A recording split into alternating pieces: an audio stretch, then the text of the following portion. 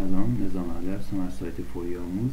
تو این آموزش می‌خوایم یه کد ماکرو بزنیم که در واقع یه کار یه سری کارهایی رو به صورت پشت سر هم برای ما انجام بده. خب من اینجا اون در واقع کار ماکرو قبلیه رو مثلا اصلاحش کنیم.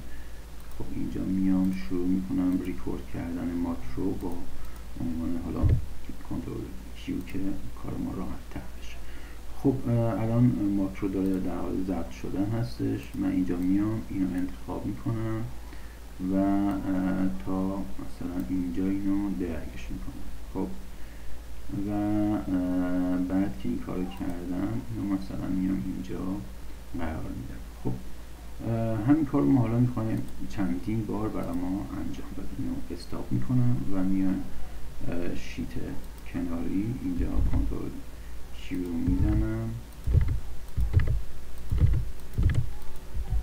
حالا اگه من همین کار بخوام طور دیگه انجام بدم. مثلا من اینجا بعد از اینکه اینو کپی کردم می‌خوام مثلا اینو کپی کنم و در واقع این شیت کناری بزنم حالا اینو باید جلوتر براتون توضیح بدم.